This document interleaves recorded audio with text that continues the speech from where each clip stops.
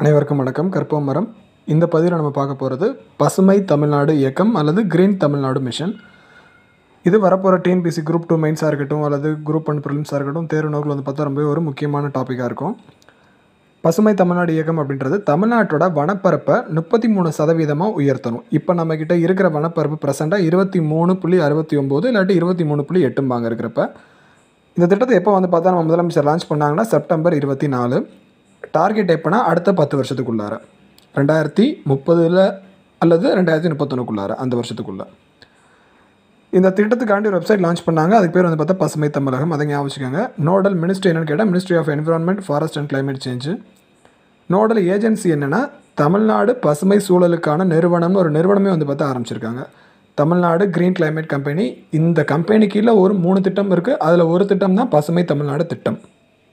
அடுத்து இந்த மாதிரி நம்மளுக்கு ஒரு வனப்பரப்பை அதிகரிக்கிறனால என்னென்ன பயன்னு கேட்டிங்கன்னா முதல் வந்து பார்த்தா உங்களுக்கே தெரியும் குளோபல் வார்மிங் கம்மியாகும் வெப்பமயமாக்குதல் அப்படின்றது கம்மியாகும் மண்ணோட ஈரப்பதமும் மண் வளமும் கூடும். அடுத்தது கிராமப்புறத்தில் வந்து பார்த்தா வேலை வாய்ப்புகள் உண்டாகும். மரத்தின் மூலியமாக வர பொருட்கள் மூலியமாக ஒரு செடியிலேருந்து வந்தாலும் அது நம்மளுக்கு யூஸ்ஃபுல் தான். அடுத்தது சஸ்டைனபிள் கார்பன் ஸ்டோர் இருக்கிறதுலே முக்கியமான பாயிண்ட் தான் எல்லாத்துக்குமே தெரியும் உலகம் இப்போ எதிர்கொள்கிற அடுத்து எதிர்கொள்ள போகிற மிகப்பெரிய விஷயம் அப்படின்றது பருவநிலை மாற்றமாக இருக்கலாம். அதனால் ஏற்படக்கூடிய உலக வெப்பமயமாதல் இருக்கலாம். ஸோ இப்போ நம்ம வெளியிடுற எல்லா கரியமில வாயு அல்லது கார்பன் டை ஆக்சைடை அப்சார்ப் பண்ணணும்னா அதுக்கு தேவையான க்ரீன் கவர் நம்மளுக்கு தேவை. அப்படியே இந்த கார்பன் சிங்க்னு சொல்லக்கூடிய விஷயங்களில் முதன்மையானது மரங்களும் அடுத்து ஓஷனை சொல்லலாம் சொல்கிறப்ப ஆனால் மரங்கள் முக்கிய பங்கு வகிக்குது. அதுக்காண்டியும் தான் இந்த மிஷினை வந்து பார்த்தா தமிழ்நாடு எடுத்திருக்காங்க. முக்கியமான பாயிண்ட்டு அடுத்து எல்லாத்துக்குமே தெரியும். நிலையான மேம்பாட்டு இலக்கு அப்படின்றத ஐநா சபை கொடுத்துருக்காங்க. மொத்தம் பதினேழு இலக்கு இருக்குது ரெண்டாயிரத்தி முப்பதுக்குள்ளார உலக நாடுகள்லாம் அடையிறதுக்கு அதில் பதினஞ்சாவது இலக்கு. லைஃப் ஆன் லேண்ட் அப்படின்னு சொல்லுவாங்க. லைஃப் ஆன் லேண்டு அதை நம்ம பூர்த்தி செய்கிறதுக்காண்டி இந்த திட்டத்தை வந்து தமிழ்நாடு அரசாங்கம் வந்து பார்த்தா செஞ்சுருக்காங்க.